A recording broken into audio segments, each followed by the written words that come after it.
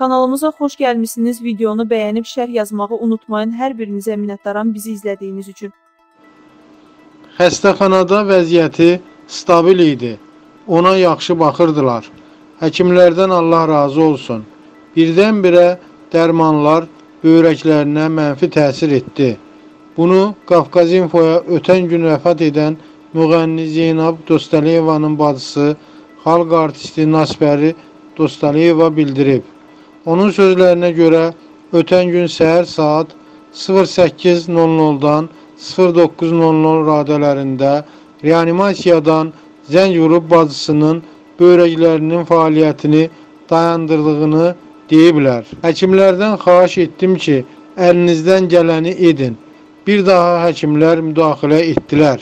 Sonra böyrəklərini təmizləmək üçün aparata qoşdular. Axşam saat 20:00 radələrində bacım Zeynab dünyasını dəyişdi.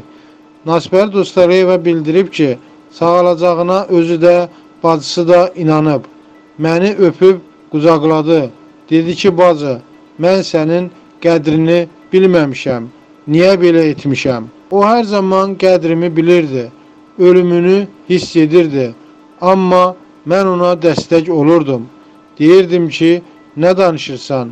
Oğlun Orxana ev alıb onu evləndirəcəyik. Sevincindən məni qucaqlayıb ağladı.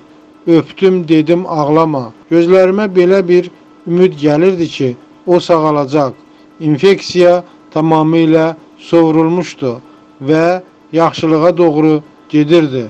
Allah rəhmət eləsin.